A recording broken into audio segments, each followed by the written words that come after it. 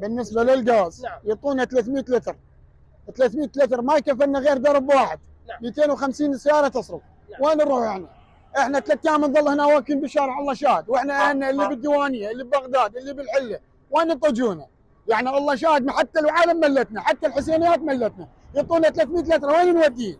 واللي عنده سيارة اللي عنده سيارتين درب واحد الله شاهد ما يكفينا حتى خبز أكل لا بطولنا ما يكفينا هو الدرب الواحد وين يصير؟ يعني أنا يصير ادير انقاز اصرفهن وين الطوج أنا هسه؟ يعطوني 250 لتر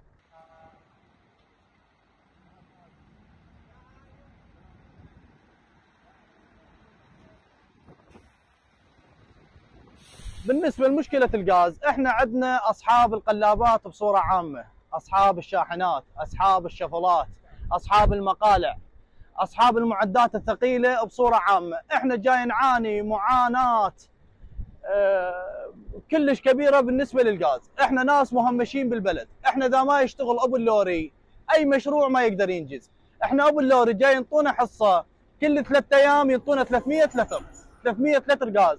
بينما ميناء الفاو من طريق التحميل إلى طريق التفريغ ما يقارب بال 150 كيلو، السيارة هنا راح تصرف 250 لتر غاز باليوم، إحنا كل سيارة تذب نقلتين للفاو يوميا،